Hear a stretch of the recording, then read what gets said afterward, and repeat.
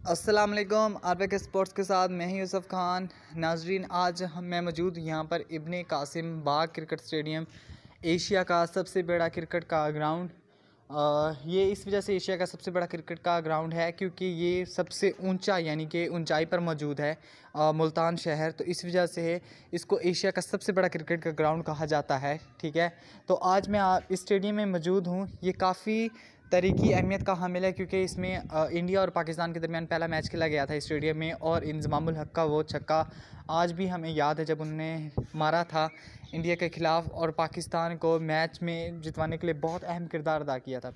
अच्छा इस स्टेडियम में मैं आपको दिखा दूँ कि इस स्टेडियम के यहाँ पर आपको सामने चेयर इंस्टॉलेशन का काम भी नज़र आ रहा होगा ग्राउंड्स वगैरह का। तो इस जो स्टेडियम में लोग शायकीन क्रिकेट के बैठने की जो जगह है, वो तकरीबन तीस से अट्ठाईस हज़ार के करीब बैठने की गुंजाइश मौजूद है और पच्चीस हज़ार जो हैं वो शायकीन क्रिकेट जबकि पाँच हज़ार के करीब जो दोबारा बाकी जो स्टेडियम की मतलब आ, जो इसका मतलब ख्याल रखने वाले ग्राउंड्स का काम करने वाले आ, जब बारिश वगैरह होती है तो इसको ढांपने के लिए जो कवर ड्राइव करने के लिए आ, वो बंदे और जो दूसरे लोग होते हैं काम करने वाले उनके लिए भी जगह मौजूद है। तो इस वजह से टोटल इसकी स्टेडियम की जो मतलब अगर बात की जाए तो इसमें अट्ठाईस से तीस हज़ार लोगों के बैठने की जगह मौजूद है। तो मैं आपको दिखाता हूँ स्टेडियम के काम। देखिए, आप लोग ये कितना प्यारा लग रहा है। यहाँ पे चेयर इंस्टॉलेशन का काम बिल्कुल मुकम्मल है। यहाँ पे ग्रास वगैरह का काम मुकम्मल है। अगर पाकिस्तान क्रिकेट बोर्ड इस स्टेडियम की जानब थोड़ा सा नज़र दौड़ाए, इस स्टेडियम में थोड़ा सा काम करवा दे, इस स्टेडियम के डबल स्टैंड लगा दे तो काफ़ी ये स्टेडियम खूबसूरत बन सकता है। क्योंकि इसका जो सिंगल स्टैंड है, वो बहुत ही ज़्यादा मज़बूत हमें नज़र आ रहा है। क्योंकि इसकी जो चेयर इंस्टॉलेशन का काम अभी नहीं हुआ, यहाँ पर सिर्फ़ सीढ़ियों की तरह ही चेयर इंस्टॉलेशन इसकी बनी हुई है। तो अगर इसका डबल स्टैंड बनाकर फिर इसके नीचे चेयर इंस्टॉलेशन कर दी जाए तो मेरे ख्याल में बहुत ज़्यादा लोगों के बैठने की जगह मौजूद होगी और तकरीबन पचास हज़ार के करीब इसकी कैपेसिटी हो सकती है।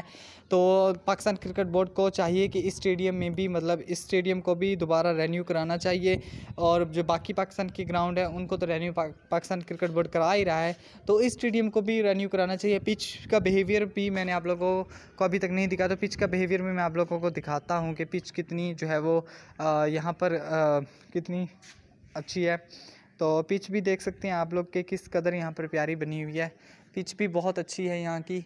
तो ये स्टेडियम काफ़ी खूबसूरत भी है, ऊँचा भी है, बहुत सारे लोगों के बैठने की जगह भी है स्टेडियम में। तो पाकिस्तान क्रिकेट बोर्ड को चाहिए कि इस स्टेडियम में मज़ीद जो है वो काम करा तो ये आज की अपडेट, उम्मीद है वीडियो अच्छी लगी होगी। अगर वीडियो अच्छी लगे तो यार चैनल कर दें, सब्सक्राइब, वीडियो कर दो, लाइक, कमेंट और शेयर करना मत भूलें। Thank you.